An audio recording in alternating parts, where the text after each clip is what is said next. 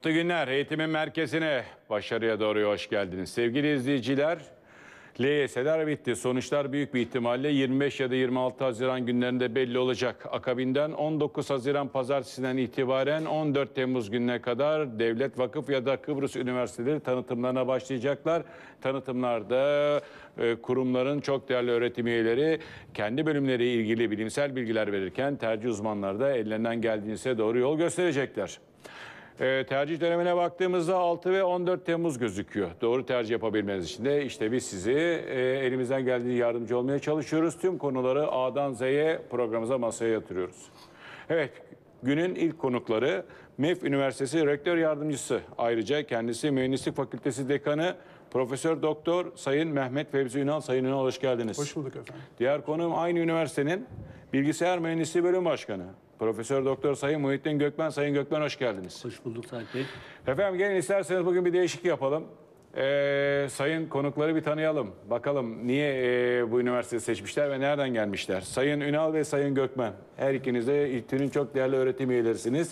Sayın e, Ünal siz ayrıca yöneticilik yaptınız. Evet. Soru ortak. Hemen arka arkaya cevap verebilirsiniz. Evet. Neden MEF Üniversitesi? Evet, Bakın me- niye soruyorum bunu? Bir de öğrencileri soruyoruz. Niye bu üniversite? Onlar seçim yaparken bir şeye bakıyor ama siz değerli öğretim üyeleri de neye bakarak üniversite seçiyorsunuz? Zannediyorum seçmelerimiz ortak olacak. Ee, belirttiğiniz gibi uzun yıllar İstanbul Teknik Üniversitesi'ne hizmet ettikten sonra Uçak ve Uzay Bilimleri Fakültesi Uçak Mühendisliği bölümünde ve 2004-10 yılları arasında iki dönem bu fakültenin dekanlığını yaparak ardından da şu anda MEF Üniversitesi rektörü olan Sayın Profesör Mu- Muhammed Şahin'in rektör yardımcılığını e, yaparak e, uzun yıllar hizmet ettim İstanbul Teknik Üniversitesi'ne.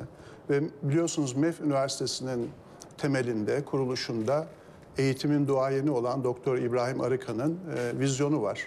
Kendisi 1972 yılından itibaren kurduğu e, ve başarıyla sürdürdüğü, örnek alınacak e, uygulamalarla sürdürdüğü eğitim kurumları aracılığıyla çok önemli bir vizyon geliştirmiştir. Bu vizyon, bunun e, uzantısı olarak seçilen rektör Sayın Muhammed Şahin e, ve e, yenilikçi uygulamalar, e, üniversite gençliği için yeni, çok önemli, değerli olabilecek uygulamalarla üniversitenin e, yaşamına başlayacak olması benim geçme nedenlerim e, arasında oldu. Peki Sayın Gökmen. Ee, Ben 1982'de e, İTÜ'den mezun oldum. Bir 8 yıllık yurt dışı deneyimimden sonra akademik yaşamıma İTÜ'de başladım. Evet. Ve e, uzun yıllar e, bölüm başkanlığından e, dekanlığa, senatörlüğe e, birçok idare görevlerde bulundum. E, akademik çalışmalar yaptık, e, projeler yaptık, e, laboratuvarlar kurduk, programlar başlattık. E, daha sonra İTÜ'de e, Teknokent'te e, öğretim üyelerinin kuru- e, kurduğu ilk firmayı kurdum ben. Yani İTÜ'de aslında yapacağımızı yaptık diye e, düşünüyorum. Evet. Ve e, MEF'te e, yeni ve farklı bir üniversite kurmanın heyecanı beni e, MEF'e e, çekti diyebilirim. Peki efendim ben de burada 1975 yılından itibaren bana da yol gösteren ve kendisinden feyiz aldığım e, Sayın Doktor İbrahim Arakan'a saygılarımı sunuyorum. Yıl 1972 dershane, yıl 1996 okulculuk ve şimdi üniversite. Evet eğitim duayeni, eğitimin duayenleriyle bir araya gelerek sizlere bu hizmeti vermeye çalışacaklar. Nerede? Üniversite dünyasında, nerede? MEF Üniversitesi'nde. E, Sayın Ünal, Şimdi burslarınıza gelmek istiyorum. Geçen yıl bayağı burslu bir çalışmanız oldu.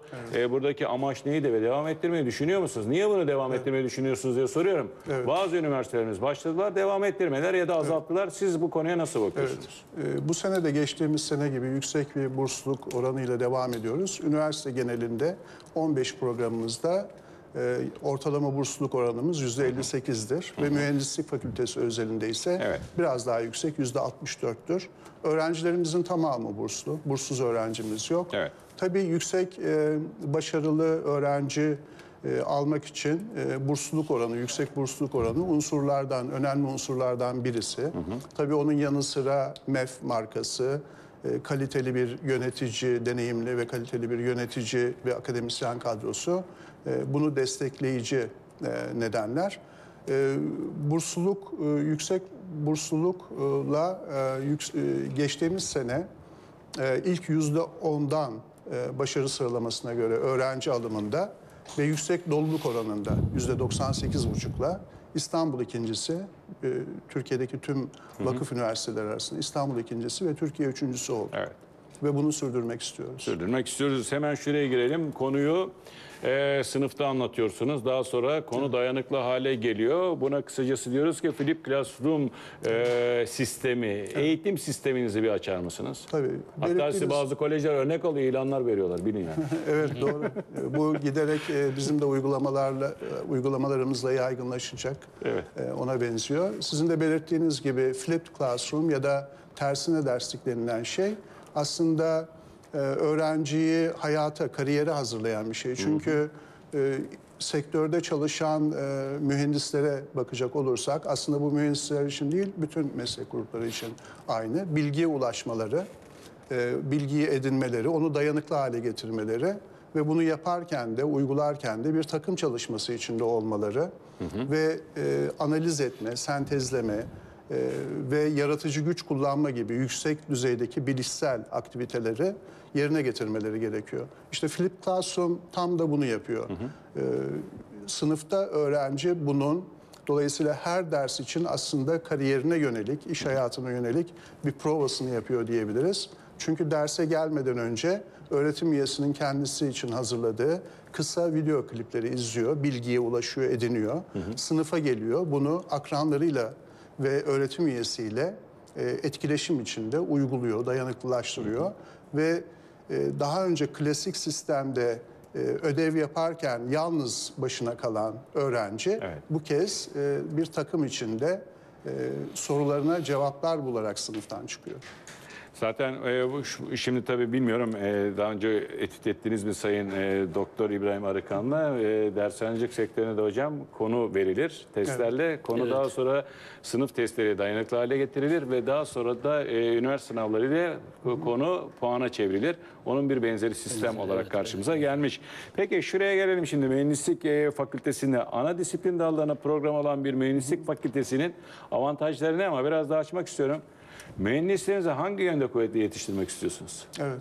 Ee, ana disiplinlerde e, mühendislik programlarımız bildiğiniz gibi makine, inşaat, endüstri, elektrik, elektronik ve bilgisayar. Ana disiplinlerde olması aslında bizim mühendislik eğitimi öğretimine bakışımızı, filozofimizi bu konudaki yansıtıyor. E, interdisipliner e, alanlar seçmektense ana disiplinler seçiliyor fakat bununla birlikte öğrenciye hem e, temel mühendislik, temel bilim, matematik bilgileri kazandırılırken kendi disiplinine özgü konular e, la donatılıyor, bilgilerle donatılıyor ve seçime bağlı derslerle, yan dal, çap programı gibi programlarla da geniş aslında disiplinler arası aktivitelerde bulunmaları sağlanıyor.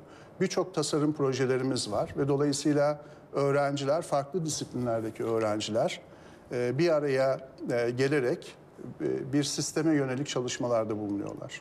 Bu yine e, sektöre bakacak olursak, çalışma yaşamına bakacak olursak aslında gerekli bir şey. Çünkü bugünün mühendislik sistemleri Çok doğru. Sadece bir mühendislik disiplini değil, söz gelimi makine, bilgisayar ve Komplike. elektrik, elektronik gibi unsurları bir arada barındırıyor. Efendim doğru tercih yaparken her zaman ben size uyarıyorum. 2020'li yıllarda donanımlı bir genç olarak yetişmeniz lazım. Yani çift ana dal, yani yan dal. Hatta biraz sonra giremeyi giremeyebiliriz konuya ama yüksek lisans olaylarını iyi düşünmeniz lazım. Yoksa tek bir mühendislik bilgisiyle 2020'lerde maalesef e, sıradan bir insan olarak karşımıza gelebilirsiniz. MEF Üniversitesi'ne baktığımızda sevgili dostlar e, şu fakülteleri görüyoruz. Eğitim, hukuk, iktisadi idari bilimler, mühendislik, sanat, tasarımı ve mimarlık. Geçen sene mühendislik ve mimarlıktı ama bu sene sanat, tasarım, mimarlık olarak olarak değişmiş. O zaman size özellikle söylüyorum. e, 2015 ÖSYM kılavuzu yayınlandı. Burada e, bu noktalara çok iyi dikkat etmeniz gerekecek. Yani iyi araştırmacı olun. Artık doğru araştırması doğru yola götürecek. Sayın Gökmen'e dönüyoruz. Efendim şimdi e, bilgisayar mühendisliğini ne anlamamız gerekiyor? E, gençler e, neden e, bilgi- bilgisayar mühendisliğini seçmeli? Şimdi 4 yıllık bir mühendislik programını tamamlayan bir gencin önünde Sait Bey aslında 3 tane seçenek var. E, birincisi bir işe girip çalışmak. E, ikincisi kendi işini kurmak. Üçüncüsü de yüksek lisans ve doktora programına devam etmek. Doktora eğitimine devam etmek. Şimdi e, bu üç seçenek aslında bilgisayar e, mühendisliği bu üç içinde oldukça avantajlı. Örneğin e, iş bulmaya bakalım. E, teknokentlerde İstanbul'da ve Ankara'da e, firmaların e, büyük çoğunluğu e, bilgisayar ve bilgis- bilişim sektöründe çalışıyor. Ve e, bunlar e, hem yurt içi hem de yurt dışı destekli e, projeler yapıyorlar. Ve bu projelerde çalışacak e, arkadaşlara ihtiyaçları Evet. var. Dolayısıyla e, hem ülkemizde hem de ülke dışında e, büyük bir e, bilgisayar mühendisine e, ihtiyaç var. Evet. İyi donanımlı, az önce söylediğiniz gibi iyi eğitilmiş bir e, bilgisayar mühendisinin e, bugün ve de yakın gelecekte iş bulamaması bence mümkün değil. Evet. Ee, ikinci seçeneğe bakarsak kendi işini kurma e, durumuna aslında e, e, bu alanda da e, çok büyük teşvikler var hem ülkemizde hem yurt dışında. Zaten yurt dışına baktığımız zaman Google, Microsoft, e, Facebook, e, Twitter e, çok güzel örnekler var, çok başarılı örnekler var ve bu alanda da aslında bilgisayar mühendisliği müthiş e, cazip bir durumda. E, çok kısa zamanda eğer e, gençler zengin olmak istiyorlarsa bence bilgisayar mühendisliği doğru e, seçim. Peki Sayın Gökmen diyorsunuz ki devam edeceksiniz. Zengin olmak istiyorlarsa ya da para kazanmak istiyorlarsa bilgisayar mühendisliği iyi bir e, meslek geliyor. Siz sözlerinize devam edin ama ona şunu da ekleyin. Şimdi ben akabinden de şunu soracağım size tamam. Neden bilgisayar mühendisliği? Devam ediyorsunuz. Bir iki madde daha söyleyeceksiniz herhalde. Peki ben neden MEF'in bilgisayar mühendisliğini seçeyim? Şimdi e, biz aslında programlarımızı oluştururken e, ilk başta e, nasıl bir mezun vermek istiyoruz e, bundan hareket ediyoruz. Evet.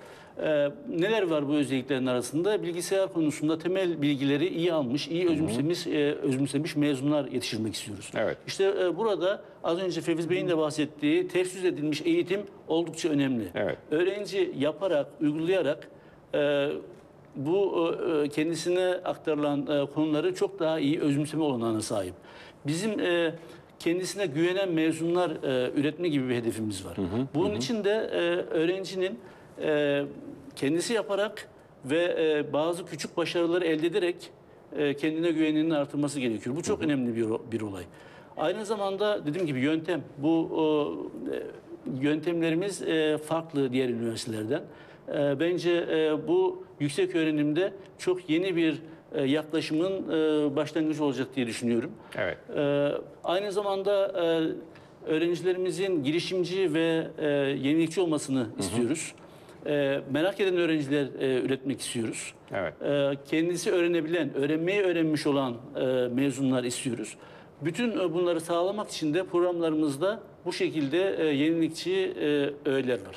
Peki bunlar var ama şimdi benim yardımcılarına belirli başlıklar çıkarmışlar. Çünkü şimdi üniversite adaylarının da bir taraftan bakışı var. Mesela diyorlar ki bilgisayar mühendisliği özellikle onu sorduk biz. Uygulamalı eğitim bir. Yazılım ve donanım dengeli eğitim. Bunlar ne anlama geliyor? Şimdi e, birçok aslında e, e, üniversitede bilgisayar mühendisliği eğitimi dendiği zaman sadece yazılım e, dersleri anlaşılıyor. Evet. Ama e, bilgisayar bunun da ötesinde e, hem yazılım çok önemli ama yazılımdan e, farklı olarak donanım da var bilgisayarda ve aynı zamanda uygulama dersleri de var. Şimdi e, MEF'e baktığımız zaman biz e, örneğin e, programlama, e, nesneye dayalı program, programlama, e, veri yapıları, e, e, yazılım mühendisliği gibi e, bir yazılım zincirine ek olarak aynı zamanda dijital e, sayısal tasarım, e, e, efendim e, mikro işlemciler gibi, e, gömülü sistemler gibi donanım derslerinde e, veriyoruz. Bunlara ek olarak aslında yazılım ve donanım öğrenmiş öğrenci ne yapacak, mezun ne yapacak? E, örneğin e, e, makinenin nasıl öğrenmesini merak edecek ve e, makine öğrenmesi dersini alacak. Bir makine nasıl öğrenir? Acaba bilgisayar görebilir mi? Bunu merak eden bir öğrenci bilgisayarla görme e, dersini alacak. E, veya e, e, satranç şampiyonunu yenebilecek bir yazılımı e, nasıl Ha, yazarız? Kasparov'u yenebilecek bir yazılım yazabilir miyim? Tavlada Türkiye'nin en iyisini yenebilecek bir e, yazılım yazabilir Süper. miyim? Bunları da yapay zeka derslerinde öğrenecek. E, biz de yazılım, donanım ve aynı zamanda bu şekilde e, bilgisayarın e, ilginç uygulamaları konusunda oldukça dengeli bir e, programımız var. Bunlara ek olarak öğrenciye e, örneğin iş hayatına giriş, e, girişimcilik ve yenilikçilik gibi e, onları e, mezuniyet sonrasını hazırlayan derslerimiz var. Peki hemen size dönelim. Şimdi mezuniyet sonrasını hazırlayan dersleriniz var ya da e, öğretim süreçleri dersler var. Ama bir de kapıyı kapatıp sınıfta bulunan bir kişi var. Yani öğretim üyesi. Yani bizim dilimize öğretmen. Evet. Şimdi bu şuraya ayırıyoruz. Artık gençler çok dikkatliler efendim. Y kuşağı bunlar. E zaten sizin eğitim sistemi de Y kuşağı Y ve Z kuşağı, kuşağına uygun bir eğitim sistemidir. Uluslararası olmak şartıyla akademik kadronuz nasıl? Tabii. Öncelikle ben Muhittin Bey'in e, bilgisayar e, mühendisliği bölümümüz için, programımız için söylediği Lütfen. şeyi diğer e, bölümlerimize de genelleştirerek... Fakülte e, tamamı. Tabii. Fakültenin, mühendislik fakültesinin tamamı için söylemek isterim. E, öğrencinin seçmesinde tabii e, uluslararası deneyimi olan bir kadro var.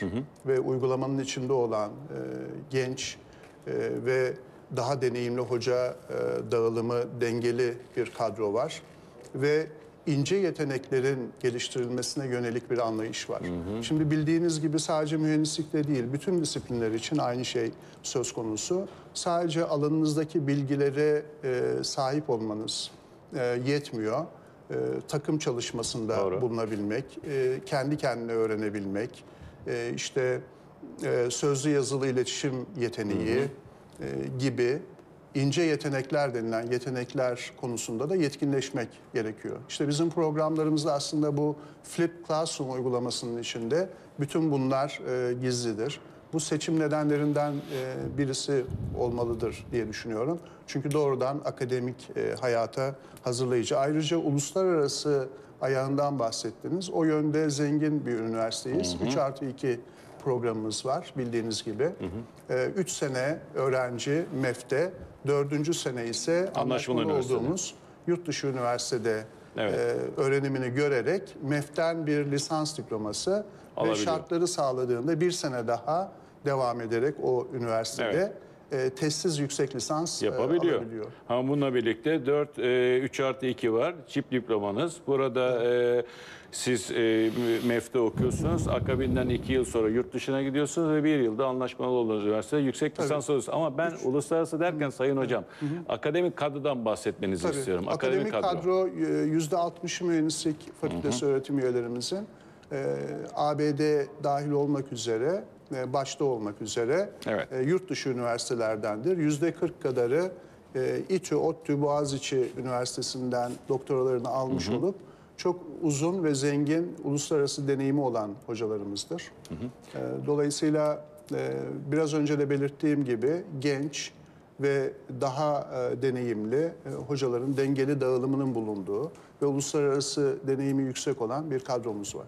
Efendim son bir dakika ama bunu soracağım size e, Sayın Gökmen. Sektörle iç içe eğitim ortamınız nasıl olacak? İşte stajlarda ya da e, sektördeki kurumlarla işbirliğiniz. Şimdi öğretim üyesi alırken aslında e, bizim önem verdiğimiz konulardan bir tanesi öğretim üyesinin e, eğitim, araştırma ve uygulama alanında, sektörle ilişkiler alanında da Deneyimi olsun. oldukça deneyimli olması. E, Bizim öğretim üyelerimizin çoğunun sektörle projeleri e, devam ediyor. Örneğin kendine örnek vermek gerekirse Teknokent'te firmam var. Bilgisayarla görme konusunda akademik çalışmalarımızı teknolojik ürünlere çeviriyoruz. Ee, örneğin e, plaka tanıma, yüz tanıma e, gibi e, ü- teknolojik ürünler geliştiriyoruz ve e, bunlar da birçok yerde kullanılıyor. Teknolojiyle, endüstriyle oldukça iç içeyiz. Peki. Efendim program birinci bölümün sonuna geldik. Çok değerli konuklarım.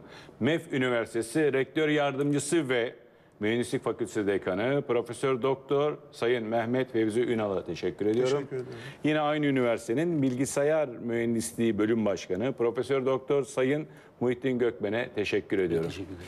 Şimdi dostlar kısa bir ara vereceğiz. Aradan sonra başarıya doğru devam edecek. Teşekkür ederim. Teşekkürler.